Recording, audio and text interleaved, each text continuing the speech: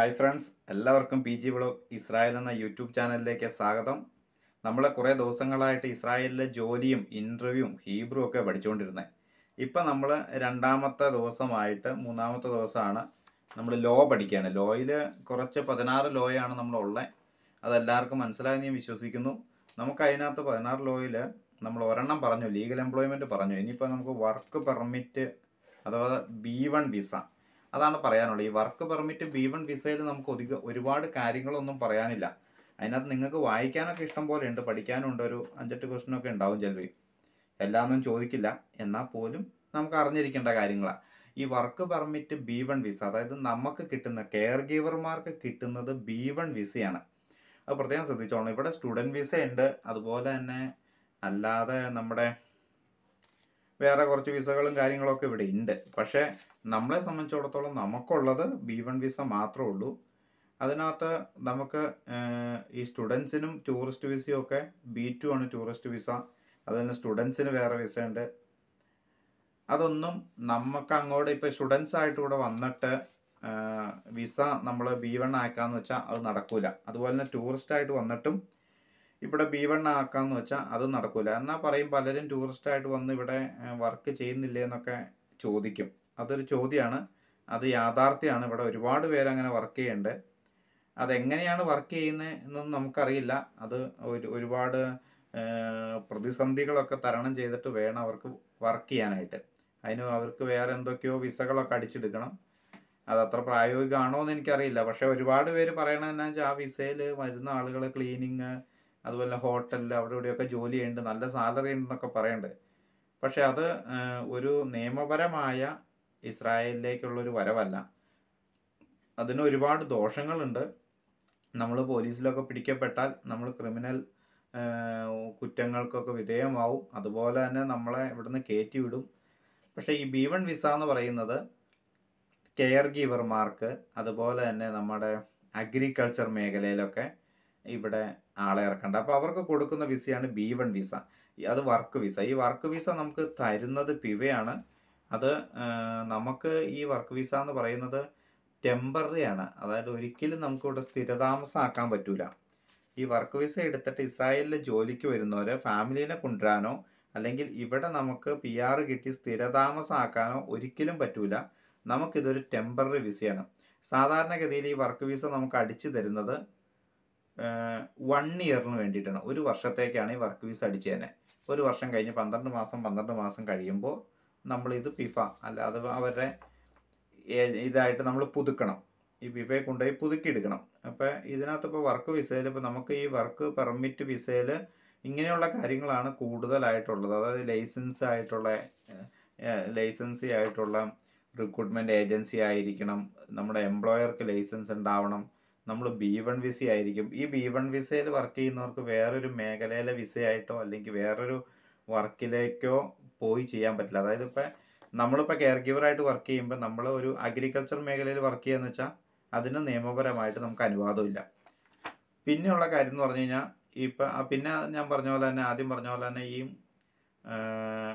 Students ആയിട്ട് വന്നിട്ട് tourist ആയിട്ട് വന്നിട്ട് ഇവിടെ ഈ വിസയിലേക്ക് മാറിയ ബി വൺ വിസയിലേക്ക് മാറാൻ പറ്റൂല എന്ന് മാറാൻ പറ്റില്ല. അല്ല അഭയാർത്ഥി വിസയൊക്കെ കിട്ടി. ഇവിടെ നിന്നാൽ പോലും ഒരുപാട് പ്രശ്നങ്ങളെ നമ്മൾ അതിനെ ബാധിക്കുന്നുണ്ട് അപ്പോൾ എല്ലാവരും വരാൻ നോക്കുന്ന എപ്പോഴും നേരായ വഴിയിലൂടെ വരാൻ നോക്കുക.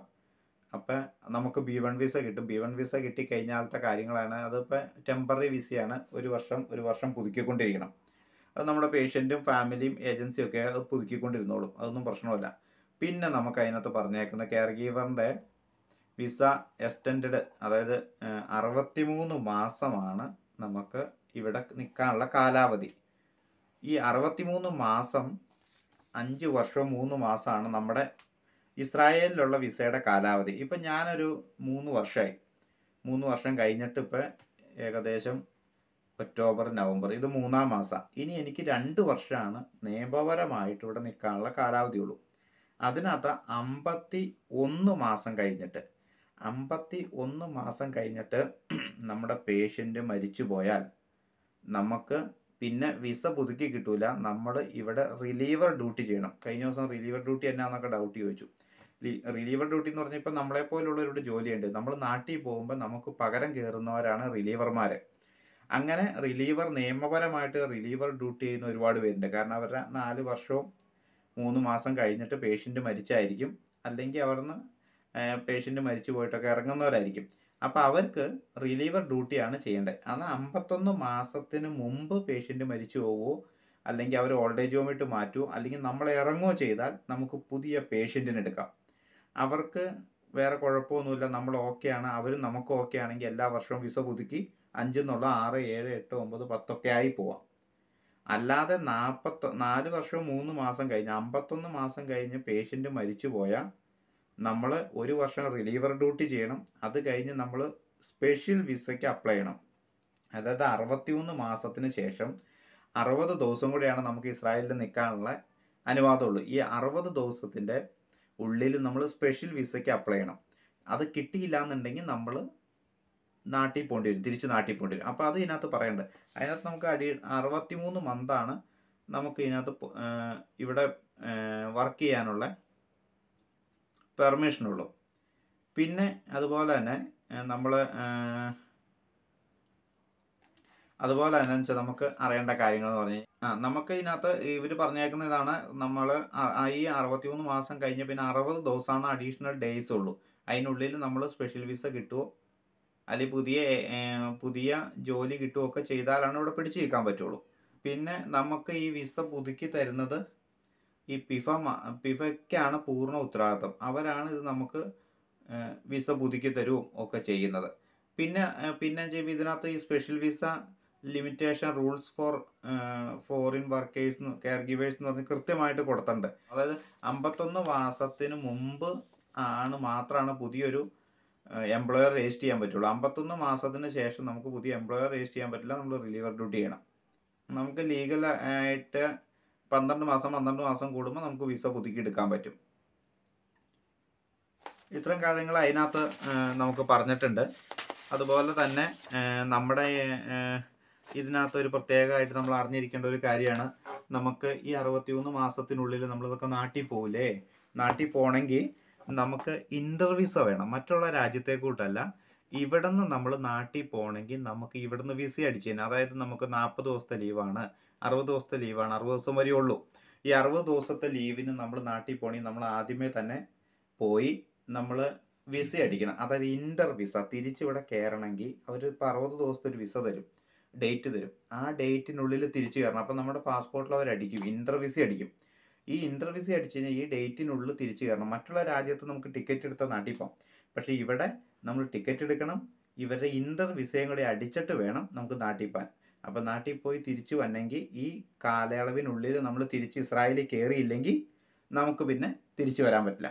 അപ്പോൾ അത് ഇന്റർവ്യൂസ് ഇവിടുത്തെ പ്രത്യേകമായിട്ട് നമുക്ക് മറ്റുള്ള രാജ്യത്തെക്കാളും വ്യത്യസ്തമായിട്ടുള്ള ഒരു കാര്യമാണ്. അപ്പോൾ നമ്മളിപ്പോൾ പറഞ്ഞ് മനസ്സിലായത് ഇപ്പോൾ വർക്ക് പെർമിറ്റ് എന്ന് പറയുമ്പോൾ നമുക്ക് സാധാരണഗതിയിൽ വർക്ക് പെർമിറ്റ് എന്ന് പറയുമ്പോൾ ബി വൺ വിസയുടെ ഒരു കാര്യം മാത്രം അറിഞ്ഞാൽ മതി. കാരണം ഇവിടെ സ്റ്റുഡന്റ് വിസ ഉണ്ട് അതുപോലെ തന്നെ ടൂറിസ്റ്റ് വിസ ഉണ്ട് ഇതിലൊന്നും വന്നിട്ട് നമുക്ക് ഈ വർക്ക് പെർമിറ്റ് ആയിട്ട് ബി വൺ വിസ ആയിട്ട് മാറാൻ പറ്റൂല. അതിനകത്ത് വന്ന് എന്തെങ്കിലും തരികിടയൊക്കെ കാണിച്ച് നമ്മളിവിടെ കയറി പറ്റിയാൽ പോലും ഒരു അഭയാർത്ഥി വിസയാണ് ഈ അഭയാർത്ഥി വിസയുടെ പ്രത്യേകത എന്ന് വെച്ചാൽ എല്ലാ ആറ് മാസവും മൂന്ന് മാസം കണ്ട് കൂടുമ്പോൾ പുതുക്കിക്കൊണ്ടിരിക്കണം. എനിക്ക് കൃത്യമായിട്ട് അതിനെപ്പറ്റി അറിയില്ല. എന്നാലും പുതുക്കിക്കൊണ്ടിരിക്കണം. പിന്നെ നമുക്ക് പോലീസ് പിടിക്കുകയോ അങ്ങനെയുള്ള കാര്യങ്ങളൊക്കെ ചെയ്താൽ നമുക്ക് നാട്ടിൽ കയറ്റി വിടും. പിന്നെ നമ്മൾ നാട്ടിൽ പോയാൽ പിന്നെ തിരിച്ച് ഇസ്രായേലിലേക്ക് വരാൻ പറ്റില്ല. കാരണം അത് ഇവിടുന്ന് കയറ്റി വിടുകയാണ്. അപ്പോൾ അതുകൊണ്ട് തിരിച്ചു വരാൻ പറ്റില്ല. പക്ഷേ നമ്മുടെ ബി വൺ വിസയാണെങ്കിൽ അഞ്ച് വർഷവും മൂന്ന് മാസത്തേക്ക് നമുക്ക് നാട്ടിൽ പോയി തിരിച്ചു വരാം. ഇന്റർ വിസ അടിക്കണമെന്ന് മാത്രമേ ഉള്ളൂ. ഇന്റർ വിസ അടിച്ചു കഴിഞ്ഞാൽ അഞ്ച് വർഷവും മൂന്ന് മാസത്തേക്ക് നമുക്ക് നാട്ടിൽ പോയി തിരിച്ചു വരാം.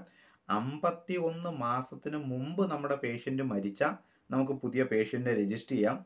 അമ്പത്തൊന്ന് മാസത്തിന് ശേഷമാണെങ്കിൽ അമ്പത്തൊന്ന് തൊട്ട് അറുപത്തിമൂന്ന് മാസം വരെയുള്ള ഒരു വർഷം നമ്മൾ റിലീവർ ഡ്യൂട്ടി ചെയ്യണം.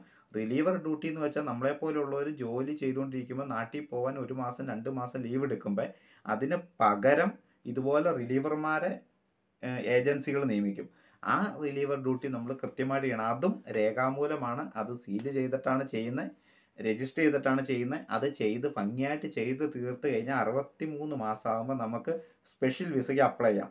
അപ്പം നമ്മുടെ അഞ്ച് വർഷത്തെ ജോലിയുടെ ബാക്ക്ഗ്രൗണ്ടൊക്കെ അവർ നോക്കി. ഓക്കെ ആണെന്നുണ്ടെങ്കിൽ നമുക്ക് സ്പെഷ്യൽ വിസ തരും.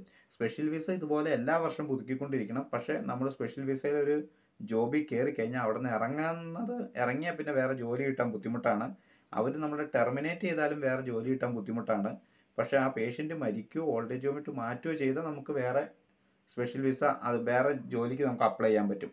അപ്പം സ്പെഷ്യൽ വിസയിൽ നമ്മൾ ടെർമിനേറ്റ് ചെയ്താൽ നേരെ നാട്ടിൽ പോവോ പറ്റുള്ളൂ വേറെ പ്രത്യേകിച്ച് ഒരു ഇതുമില്ല. പിന്നെ ഇവിടുത്തെ ഇവിടുത്തെ നിയമങ്ങൾ പാലിച്ചില്ലെങ്കിൽ അത് ക്രിമിനൽ കുറ്റമാണ് അത് ഇതിനകത്ത് പറഞ്ഞിട്ടുണ്ട്. അത് നമ്മുടെ പാസ്പോർട്ടിൽ ബാൻ ചെയ്ത് നമ്മളെ നാട്ടിൽ കയറ്റി വിടും.